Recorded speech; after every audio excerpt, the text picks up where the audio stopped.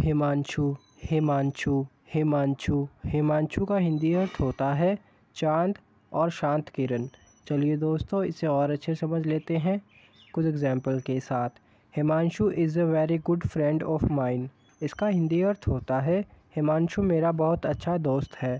इसी तरह दूसरा और आखिरी एग्ज़ाम्पल है हमारा Himanshu's father was a government employee इसका हिंदी अर्थ होता है हिमांशु के पिता सरकारी कर्मचारी थे। दोस्तों, उम्मीद करता हूँ इन एग्ज़ाम्पल के माध्यम से हिमांशु का हिंदी अर्थ काफ़ी अच्छे समझ गए होंगे। दोस्तों, ऐसे ही अंग्रेज़ी शब्दों को हिंदी में समझने के लिए आप हमारी वेबसाइट www.besthindimi.com पर विज़िट भी कर सकते हैं। साथ साथ चैनल को सब्सक्राइब भी कर सकते हैं। धन्यवाद।